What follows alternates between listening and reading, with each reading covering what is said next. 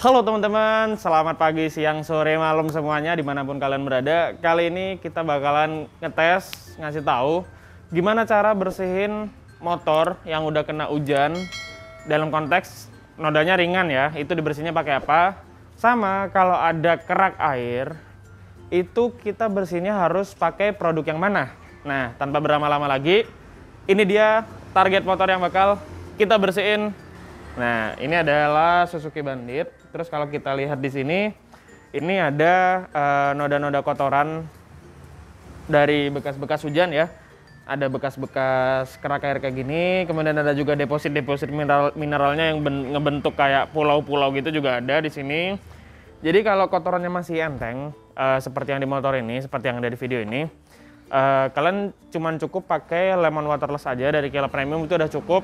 Sama water spot remover kalau masih ada kerak airnya.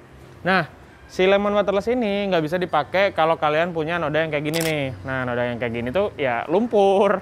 Terus noda-noda yang berat itu sebaiknya dicuci menggunakan pencucian biasa. Tapi kalau kayak cuman kena hujan dikit, itu nggak banyak kotorannya, kalian bisa pakai lemon waterless. Nah, langsung aja ya, cara pakainya gimana. Kita langsung siapkan, ini kita udah punya lemon waterless. Nih ya, ini lemon waterless, produknya kayak gini. Terus kita juga sudah punya microfibernya siapkan satu mikrofiber bersih ya.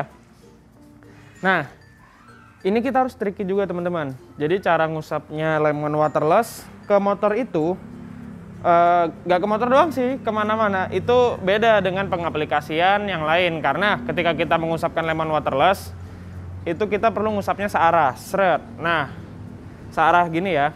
Nah, kenapa? Karena kita, kalau kita usapnya bolak-balik dia bakalan ngebawa balik kotoran yang sudah kita usap ke kanan, balik ke kiri lagi. Yang pada akhirnya dia bisa bikin baret halus yang seperti ini. Nah, pernah lihat gak? Oke, tanpa berlama-lama lagi, kita langsung aplikasikan ya.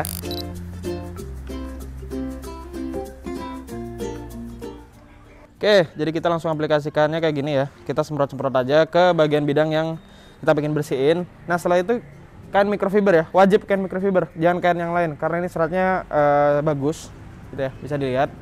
Bagus dan dia bisa menyerap debu sama air itu lebih baik. Daripada misalkan kita pakai kanebo atau kain serbet itu seratnya dikit potensi bikin baratnya lebih banyak. Jadi kita langsung aja kayak gini. Nah usapnya searah aja. Nah searah aja. Kayak gini ya. Kalau emang kita ke arah ini kalau dari saya ke kanan ya kalau di video ya. Ini ke kanan terus kita semprot lagi misalkan kalau kurang. Usap lagi usap lagi.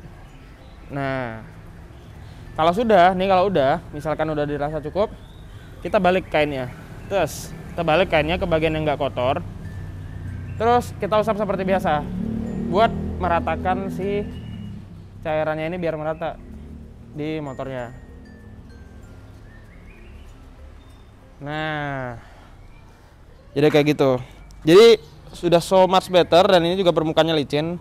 Karena di waterless ini juga ada kandungan waxnya karena ubah wax walaupun dikit banget tapi dia bisa membantu buat uh, proses pengkilapan si motor ini.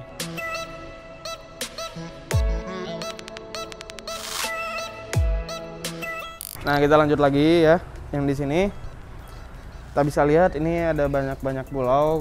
Kalau memang pakai waterless bisa hilang ya kita nggak perlu hilangin kerak akhirnya. Kalau emang masih gak hilang baru kita hilangin pakai water spot remover. Caranya sama ya kayak gini. Nah. Oh hilang ternyata guys. Caranya sama ya diusapnya secara searah. Untuk menghindari potensi terjadinya baret nah oke dah.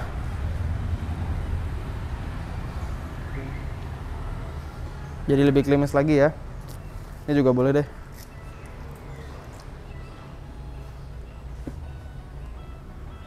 Oke udah cakep.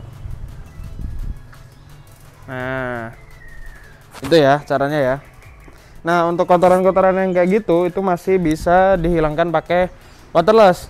Tapi yang nggak bisa dihilangin pakai lemon waterless ini buat pembersihannya kayak gini guys. Nah ini kalau kita lihat daerah sini ya. Uh itu udah kotor banget. Kayak kerak-keraknya udah numpuk. Jadi alangkah baiknya memang dicuci dulu menggunakan air dan sabun seperti biasanya. Nah oke bagian sini ya. Ini ada stikernya Bang Harald Arkan iya iya iya iya. Oke. Kita langsung usapkan kayak gini. Seperti biasa. Serep searah. Serep serep. Serep. Serep. Serep. Nah jadi per panelnya tuh kalau bisa searah. Terus kita usap lagi pakai sisi sebaliknya. Kalau udah bersih biar si pengkilapnya ini merata. Nah udah cakep lagi nih.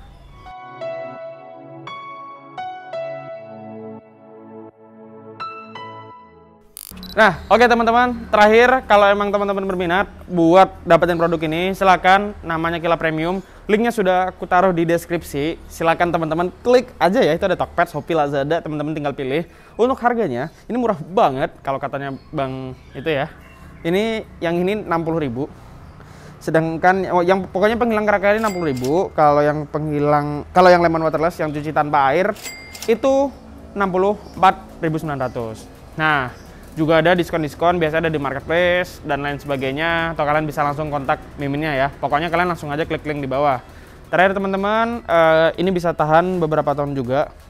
Karena ini pemakaiannya nggak sering ya aku rasa ya. Kalau kalian pengen aja ataupun memang kondisinya lagi ada water sport karena setahu aku water sport tuh jarang banget ada di permukaan motor. Oke gitu aja teman-teman.